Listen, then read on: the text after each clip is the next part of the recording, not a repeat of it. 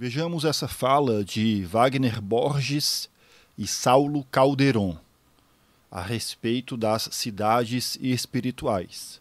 Por que é que eu quero trazer essas falas?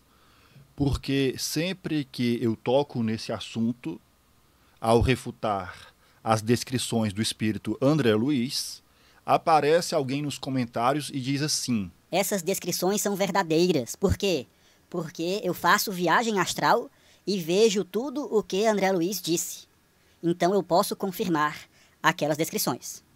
Já me deparei com inúmeros comentários desse tipo. Vejamos essas falas porque Wagner e Saulo são conhecidos por falar esse tipo de coisa. Ou seja, falar das suas experiências fora do corpo. Vejamos o que eles falam a respeito das cidades espirituais. Em seguida, eu quero confrontar essas descrições, esses relatos, com textos de Allan Kardec que nos ajudam a esclarecer esse fenômeno. Fenômeno que, inclusive, deve ser estudado, mas que aparentemente não passa por nenhum tipo de controle. Vejamos o que eles irão falar a respeito das cidades espirituais. Os mensageiros, eu acho que é, que é a sequência. O lance é o seguinte: o André Luiz, que era pseudônimo, né? O Chico Xavier colocou nele o pseudônimo para ninguém desconfiar, não dar processo da família e tal.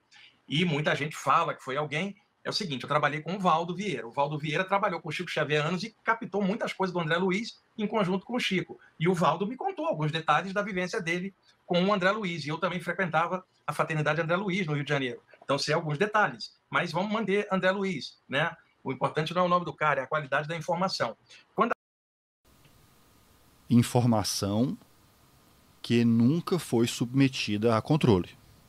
A série Nosso Lar começou a sair da década de 40 é, para frente, falava de comunidades extrafísicas, e o André Luiz dizia que ele tinha ficado num ambiente escuro, que ele chamou de umbral, se a pessoa pegar um dicionário, umbral é divisória, limiar, e, e ele ficou retido no ambiente escuro e não conseguiu passar para um ambiente melhor. Depois de anos ali de purgação, ele teria sido resgatado por uma comunidade extrafísica chamada Nosso Lar, que era por cima da cidade do Rio de Janeiro, naquela época, e que essa comunidade tinha sido fundada por portugueses há 300 anos antes, no plano astral, tanto que os nomes do pessoal, Saulo, quando você olha, Eulália, Eulália Lísias, Calderaro, nomes da maioria de influência portuguesa mesmo, ô, ô, ô Saulo, né? E aí, o que acontece? Muita gente aqui no Brasil começou a achar que nosso lar seria referência do mundo espiritual. Não era, era uma cidade astral por cima do Rio de Janeiro. Se uma pessoa for numa cidade astral, Samuel, por cima da, de uma cidade da China, vai ser totalmente diferente, porque tem que ser um ambiente em que a pessoa se sinta ainda humana, normal, é. né? espiritualmente se sinta ainda pessoa, para lentamente ela ir galgando níveis outros. Então, nosso lar, eu vi muita gente falar assim, eu queria ir para nosso lar. Nosso lar não é um lugar avançado, Samuel. O porão dali é um umbral, cara, é um lugar de transição, né? Existe Inclusive, ele fica na terceira frequência do umbral, Exato. ele fica no umbral. É, ele fica, fica. O parte baixa, sim, né? E é. é um lugar de transição. Então, é, é, existem comunidades extrafísicas de vários níveis. O plano astral tem vários subplanos extrafísicos, Samuel. Tem subplanos mais próximos a, da atmosfera da Terra e outros subplanos que nada tem a ver com a atmosfera da Terra, onde o, os espíritos têm corpos luminosos, não come, não bebe, não tem nada disso. Não tem cidade astral nesses lugares avançados, porque a, a forma começa a ficar rarefeita. Tem lugar que as entidades são esferas de luz. Tudo é luz, não tem cidade. Então, onde tem esses ambientes, comunidades extrafísicas, são ambientes ainda para recém-desencarnados e pessoas ainda se adaptarem. Agora, um detalhe: aqui no Brasil, o André Luiz passou essas informações da década de 40 em diante. Eu pesquiso bastante, você sabe, Samuel. Ah, existia um relato de cidades astrais desde o século XIX, com um grande sensitivo e clarividente que se chamava Andrew Jackson Davis, na década de 1950, nos Estados Unidos, onde ele falava já de comunidades astrais. E na Inglaterra, no início do século XX, tinha um reverendo Stanton Moses, que também falava de comunidades extrafísicas. E tem dois livros que eu, eu indico para quem não quiser ler a série Nosso Lar, que é muito boa, por sinal, o André Luiz arrebenta ali, fala muita coisa legal, mas quem quiser sair dessa vibe mais comum e espírita da área do nosso lar, pegar uma literatura mais aberta para poder comparar e, e, achar o caminho do meio, tem um livro chamado A Vida nos Mundos Invisíveis, do Anthony Borgia, editora Pensamento. O livro é uma das melhores descrições, Saulo, desses subplanos extrafísicos. E tem um livro da Ellen Graves, publicado na Inglaterra, que é o testemunho de luz, que tem visões também extrafísicas de uma cristã. Então é legal ter visões variadas, de áreas variadas, para a pessoa ter uma visão de conjunto. Agora, essas comunidades extrafísicas existem aos milhares, desde aquelas que lembram o ambiente daqui até outras que não têm nada a ver aqui, que são só formas de energia. É para falar? Eu vou avançar aqui até o ponto em que o Saulo começa a fazer o seu relato. Ele, ele me apaixonei. Eita! Não, eu, eu, tive também, eu tive, eu tive a oportunidade recentemente de, de oh, uns meses atrás, acho que um ano, de ver minha mãe que desencarnou sobre a cidade de Vitória. Eu não sei que dimensão foi aquela, mas foi bem legal. É, muito tecnológico, por exemplo, é, naquele momento, fazia, fazia um, um minha mãe não estava 100% preparada para aquele encontro ainda, que, é, tinha uma pessoa intermediando, uma mentora. Eu, nós estávamos tipo de uma bolha, no ar, a não sei que lugar aquele, uma bolha, que tudo era, era, era, era como se fosse um vídeo ou uma tela em alta resolução. Eu sentado na direita, essa, essa intermediadora no meio, minha mãe na esquerda, para não chegar perto de mim, não me fazer voltar para o corpo, porque a tendência é você entrar no estado emocional ali, se não tomar cuidado. Essa mulher estava com um tablet na mão, redondo, parecia uma gelatina, um negócio assim, e ela começou a voar sobre a cidade de Vitória, tá? É, enquanto, enquanto eu conversava com ela, e mostrar a cidade toda para mim, mostrou a ponte que liga a Vila Velha, lindo, o negócio mais lindo que tem.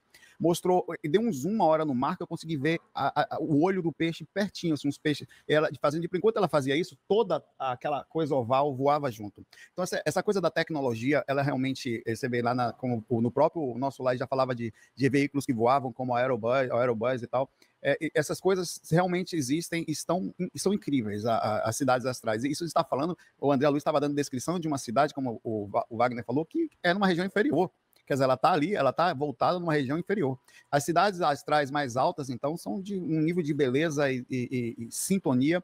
Eu também já tive a oportunidade de estar em lugares em que a sensação que eu senti foi, uma, foi tão incrível que a sensação de paz, e eu perguntei assim, tinha dois rapazes voando comigo, mentores, eu perguntei, por que, que eu estou sentindo isso? Que lugar é esse? Ele falou, não, não é o lugar.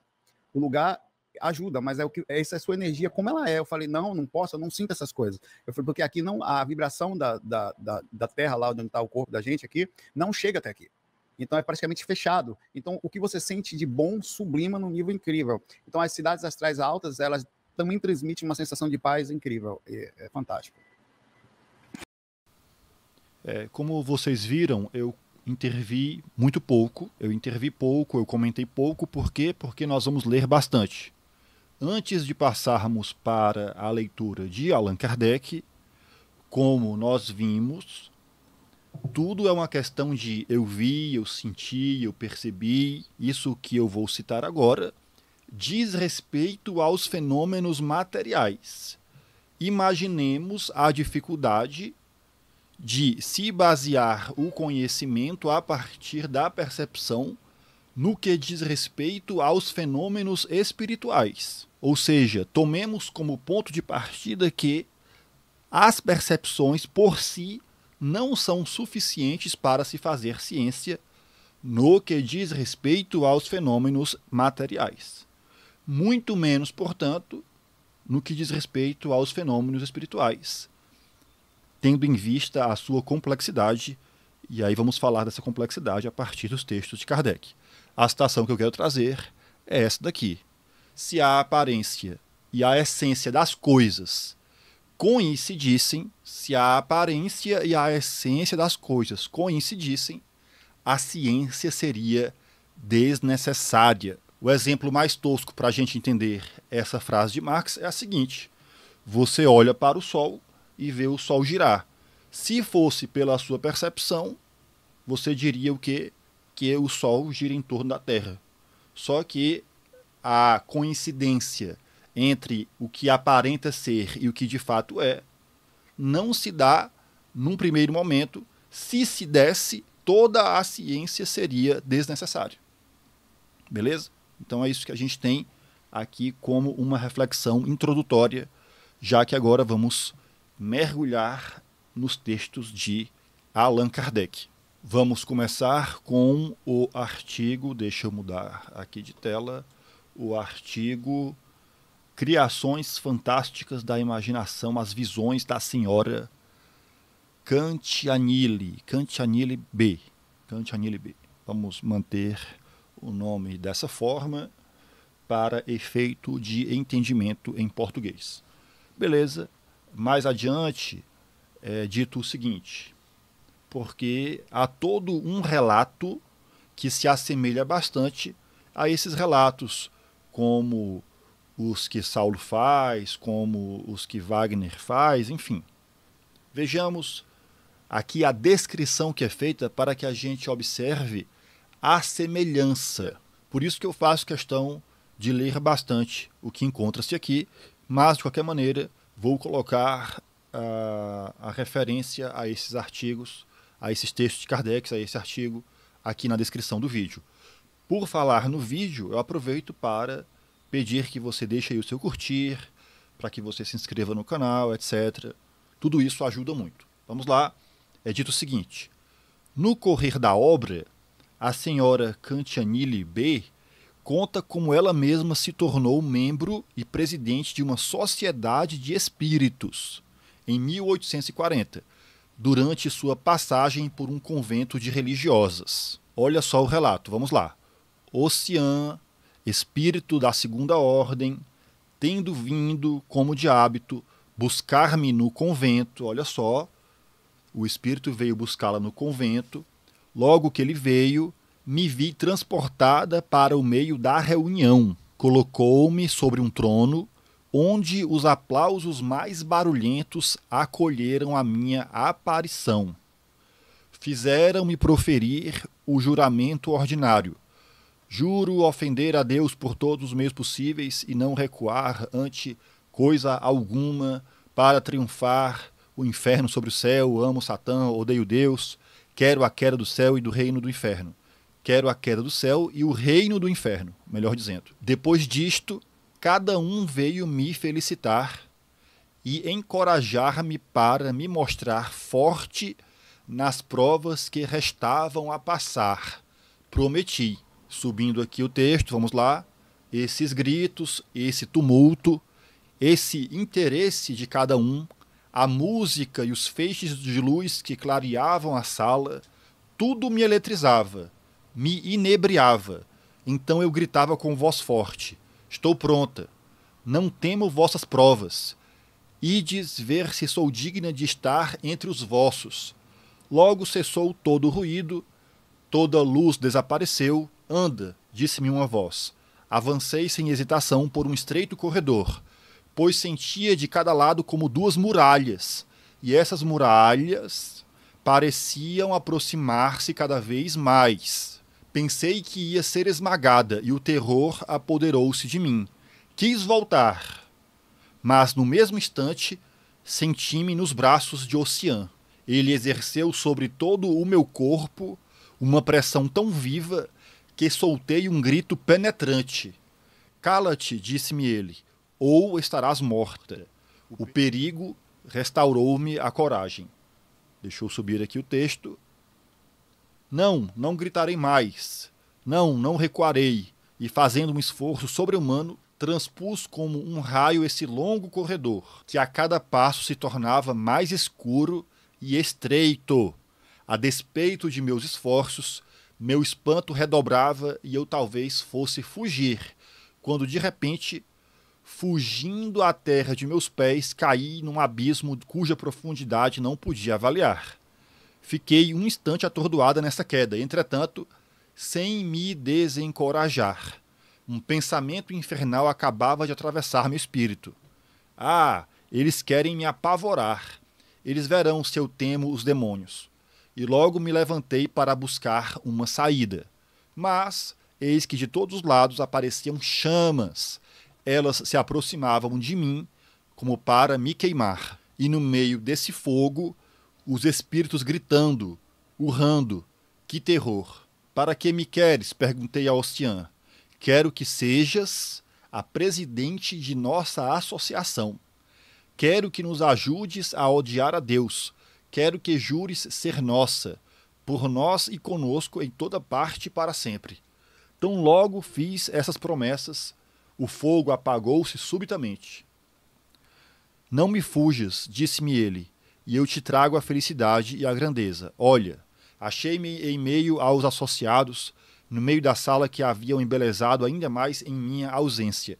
Um reparto suntuoso foi servido. Então me deram o lugar de honra. E no fim, deixa eu subir aqui. E no fim, deixa eu ver. Cortou. E no fim, e no fim, quando todos estavam aquecidos pelo vinho e pelos licores e superexcitados pela música, fui nomeada presidente. Aquele que me havia entregue ressaltou, em algumas palavras, a coragem que eu havia mostrado nessas provas terríveis. E em meio a mil bravos, aceitei o título fatal de presidente. Eu estava assim à testa de alguns milhares de pessoas atentas ao menor sinal. Não tive senão um pensamento: merecer sua confiança e sua submissão. Infelizmente, fui muito bem sucedida. Então, esse é o relato. Mais adiante, o Allan Kardec vai falar o seguinte. E aí vocês podem ler o texto por completo, eu já li bastante, vou ler mais. Mas vejamos o que Kardec fala em relação a essas visões. Como nós vimos, todo um relato de uma experiência com os espíritos, enfim. Como essas que a gente vê aí na internet, feitas pelo Wagner, pelo Saulo e por tantas pessoas que contam coisas extraordinárias vistas fora do corpo. As visões da senhora Cantinelli pertencem a essa categoria de questões sobre as quais, de certo modo, não se pode até mais ampla informação senão tentar uma explicação. Explicação essa, ele diz, cremos achá-la no princípio das criações fluídicas pelo pensamento. Deixa eu subir aqui, eu fico subindo o texto para que vocês possam acompanhá-lo, né? porque senão eu vou ficar lendo aqui de um lado enquanto corta para vocês. Vejamos o que ele continua a dizer. Quando as visões têm por objeto uma coisa positiva, real, cuja existência é constatada, sua explicação é muito simples. A alma vê por efeito de sua irradiação, o que os olhos do corpo não podem ver. Essa alma, ela se vale dessa visão à distância para é, constatar a existência de algo material. Por exemplo, é, o indivíduo adormece, sai do corpo e vê que no outro ambiente tem um móvel e em cima desse móvel tem um objeto e tem uma carta dentro de uma gaveta, enfim. Aí ele volta e diz: Olha, é, o objeto encontra assim, assim, assado e pode ser verificado de tal forma como eu vi. E aí a gente vai lá ver e a coisa encontra-se como foi descrita. E aí tanto faz o indivíduo estar acordado ou não, sonâmbulo ou não, desdobrado ou não, não importa. É a visão da alma. Afinal de contas, nós estamos falando de fenômenos relativos à emancipação da alma. Pois bem, se o Espiritismo tivesse explicado apenas isto, já teria levantado o véu de muitos mistérios. Mas a questão se complica quando se trata de visões que como as da senhora Cantinelli, eu estou falando Cantinelli para facilitar a minha dicção, que já não é muito boa.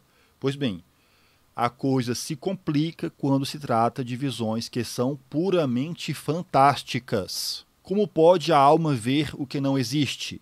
De onde vêm essas imagens que, para os que as veem, têm toda a aparência de realidade? Quem vê realmente acredita estar vendo aquilo, dada a aparência de realidade. Pois bem, dizem que são efeitos da imaginação, que seja, mas esses efeitos têm uma causa. Em que consiste esse poder da imaginação? Como e sobre o que age ela? Se uma pessoa medrosa ouve um ruído de camundongos durante a noite, deixa eu subir o texto. Deixa eu subir aqui. Uh em que consiste esse poder da imaginação. Se uma pessoa medrosa ouve um ruído de camundongos durante a noite, é tomada de pavor e imagina ouvir passos de ladrões. Se toma uma sombra ou uma forma vaga por um ser vivo que a persegue, aí estão verdadeiros efeitos da imaginação. Olha a distinção que o Allan Kardec faz em relação aos efeitos da imaginação. Beleza. Aí ele diz: mas nas visões do gênero das de que aqui se trata, existe algo mais, porque não é apenas uma ideia falsa, é uma imagem Atenção, é uma imagem com suas formas e cores, tão claras e precisas que poderiam ser desenhadas. Contudo, não passam de ilusão. De onde vem isto? Essa é a pergunta. Atenção para o que ele vai dizer. Deixa eu subir o texto mais uma vez. Para nos darmos conta do que se passa nessa circunstância, é necessário sair do nosso ponto de vista exclusivamente material e penetrar pelo pensamento no mundo incorpóreo, identificarmos-nos com a sua natureza e com os fenômenos especiais, fenômenos especiais, atenção, atenção inclusive para a distinção entre fenômeno psíquico e fenômeno espiritual, beleza? Pois bem, com a natureza e com os fenômenos especiais que se devem passar num meio completamente diferente do nosso. E por que completamente diferente do nosso, já antecipando o que vai ser dito logo adiante? Porque fluídico, isso muda tudo. Aí ele diz: Estamos aqui embaixo na posição de um espectador que se admira de um efeito cênico, porque não compreende o seu mecanismo. Os processos pelos quais as coisas se dão no mundo espiritual são diferentes. São completamente diferentes. Porque nós não compreendemos o seu mecanismo. Mas tudo, aliás, mas se ele for para detrás dos bastidores, compreenderá tudo. E aí ele continua: em nosso mundo, tudo é matéria tangível. No mundo invisível, tudo é, se assim nos podemos exprimir, matéria intangível, isto é, intangível para nós que só percebemos por órgãos materiais, mas tangível para os seres desse mundo, que percebem por sentidos espirituais. E, por falar em sentidos espirituais, é claro que se fala de perispírito. Perispírito. Tudo é fluídico nesse mundo, homens e coisas, e as coisas fluídicas aí são também reais. Tudo é fluídico nesse mundo, homens e coisas, e as coisas fluídicas aí são também reais, relativamente como as coisas materiais são reais para nós. Eis um primeiro princípio subindo o texto para vocês poderem acompanhar, é dito: o segundo princípio, o segundo princípio está nas modificações que o pensamento imprime ao elemento fluídico. Porque o mundo espiritual é, por assim dizer, um mundo fluídico. E as coisas fluídicas do mundo espiritual são reais para o espírito. Beleza? Por mais que sejam criadas pelo pensamento. Pode dizer que ele o modela à vontade, como modelamos um pouco de terra para dela fazer uma estátua. Apenas sendo a terra uma matéria compacta e resistente, para a manipular é necessário um instrumento resistente, ao passo que a matéria etérea sofre sem esforço a ação do pensamento. Sob essa ação, ela é suscetível de revestir todas as formas e todas as aparências.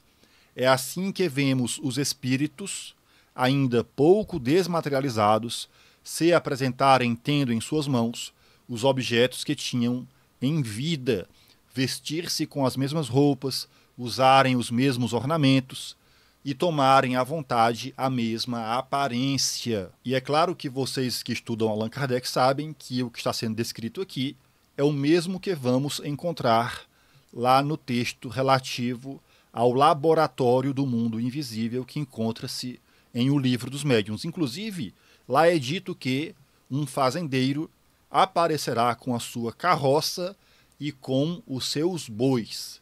Então, quem vê aquele espírito dirá: junto com aquele espírito, os seus bois o acompanham. Mas não se trata de bois no mundo espiritual a partir de um elemento espiritual que sobrevive ao boi, à morte do boi, mas de uma criação fluídica a partir do pensamento do fazendeiro. Essa é aqui a questão. Pois bem, Aí ele avança aqui com alguns exemplos, fazendo referência a outros artigos da revista. Vejamos aqui. Ele diz: citamos vários fatos desse gênero, etc. Aí diz: essas criações fluídicas, essas criações fluídicas, deixa eu subir aqui bem para o topo. Essas criações fluídicas, por vezes, essas criações fluídicas, por vezes, podem revestir para os vivos aparências momentaneamente visíveis e tangíveis, porque, na verdade, elas são devidas a uma transformação do fluido, da matéria etérea.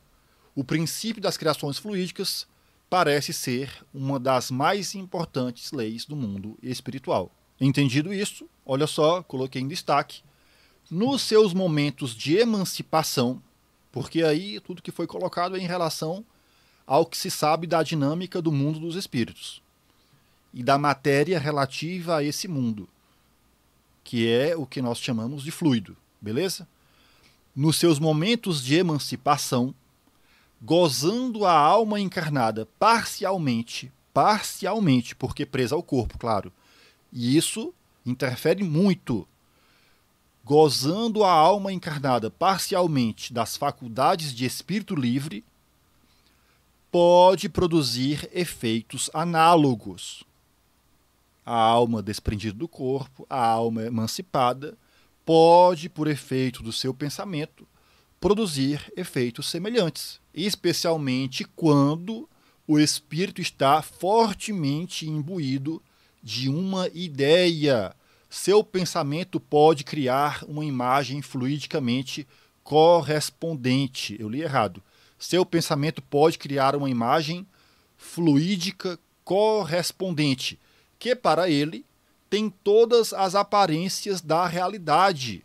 Aí logo em seguida ele diz assim, ó, ele cita outro exemplo que também está na revista Espírita e fala: tal é sem dúvida, tal é sem dúvida o caso que aconteceu com a senhora Cantinelli. Por isso ele diz: seu pensamento criou um quadro fluídico que só tinha realidade para ela todo aquele quadro, tudo aquele que ela viu, aqueles corredores, aquele trono, as pessoas vindo e não sei o que, gritando, tudo aquilo só tinha realidade para ela. Ela não foi de fato levada para um lugar, ela não andou por um corredor, nada, fogo.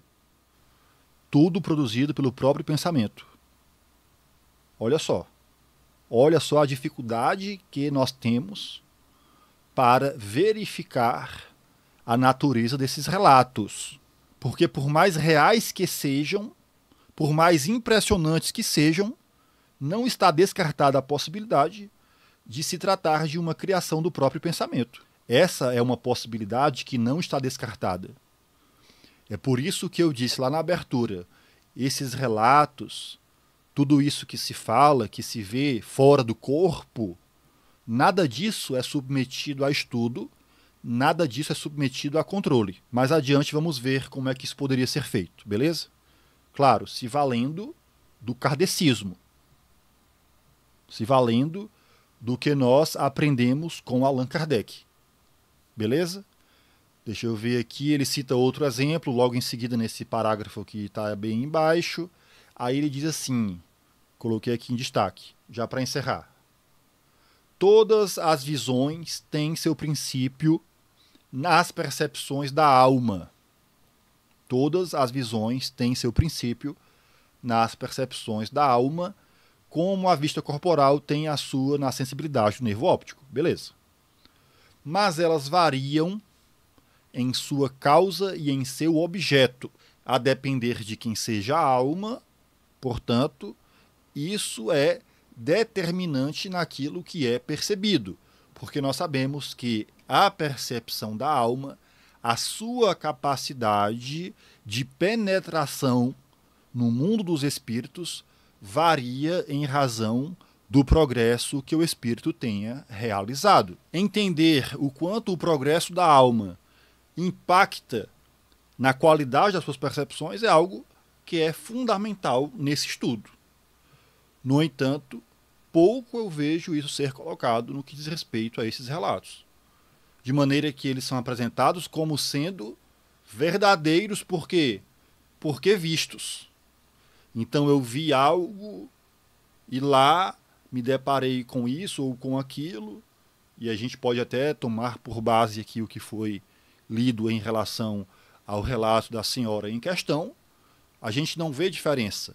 Tem corredor, tem parede, tem fogo, tem buraco, tem nave, e aí isso irá variar de acordo com, claro, as noções que o indivíduo já possua a partir do caldo cultural que traz consigo. De maneira que, voltando ao texto, quanto menos desenvolvida é a alma, atenção, quanto menos desenvolvida é a alma, mais suscetível de criar ilusão sobre o que vê, ou seja, mais suscetível de se enganar quanto ao que está percebendo. Suas imperfeições a tornam sujeita ao erro. As mais desmaterializadas são aquelas cujas percepções são mais extensas e mais justas. Mas, e aí Kardec pondera, importante, por mais imperfeitas que sejam, são faculdades não menos úteis para estudo. E é claro que quando Kardec fala de estudo, ele está falando do estudo possível através do kardecismo. Vejamos o que ele fala no último parágrafo desse artigo. Deixa eu avançar aqui. Se esta explicação não oferece uma certeza absoluta, pelo menos tem um caráter evidente de probabilidade. Ela prova, sobretudo, uma coisa: é que os kardecistas não são tão crédulos quanto pretendem os seus detratores e não concordam com tudo o que parece maravilhoso.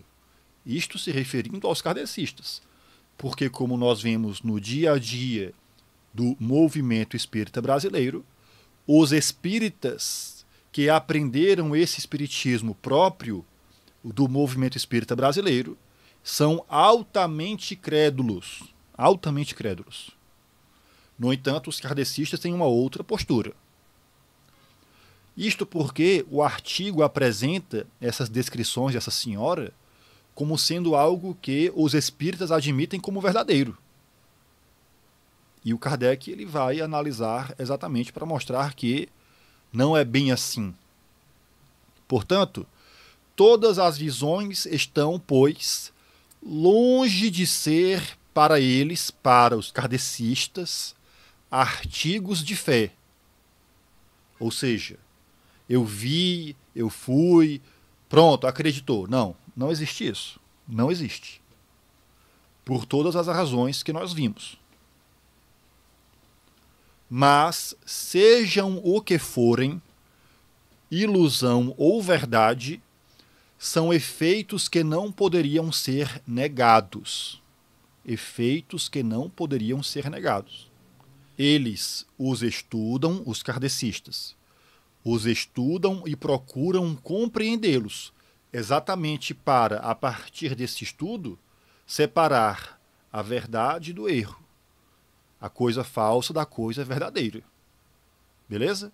Eles os estudam e procuram compreendê-los, sem a pretensão de tudo saber e de tudo explicar muito importante isso. Os kardecistas estão em busca da verdade. E por buscar a verdade e por saber que podem se enganar muito facilmente nessa busca, tomam todos os cuidados a fim de não se confundirem, de não se enganarem, de não se deixarem enganar. Por isso o critério, por isso a prudência. Por isso, a humildade de quem busca a verdade. Quem não é a pretensão e a postura arrogante de quem tem a verdade, é o contrário. De quem busca e de quem sabe que, em razão das suas imperfeições, das suas limitações, muito facilmente pode se enganar nessa busca.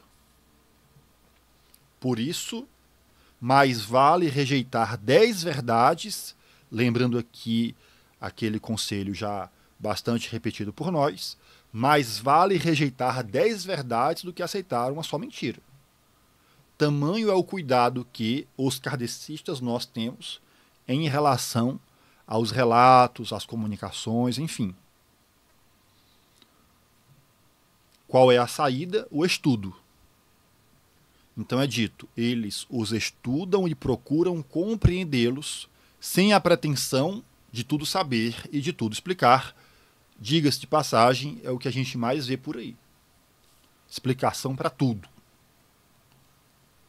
Por mais fantástica que seja.